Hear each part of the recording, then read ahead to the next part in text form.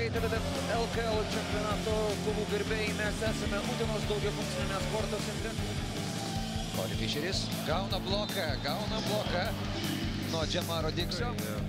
Nepasakyčiau, kad e, blogiau už e, Kadžį, netgi tikrai geriau.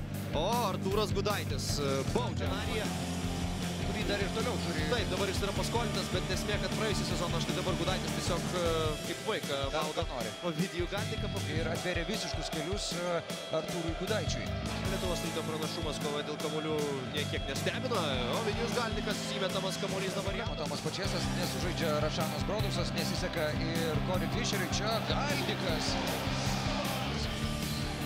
Tos aikštelė bando atmesti kamuolį Davidui Loganui. Galimybę užpulti Lietuvos ryto krepšį. Diksas.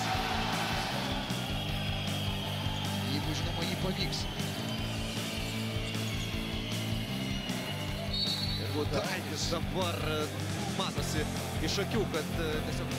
Labai rimtas pavojų signalas O, Deividas Loganas niekina Gyčias ir Tavičiaus čiurnas. Bando kompensuoti savo labai nesėkmingą pasirodymą.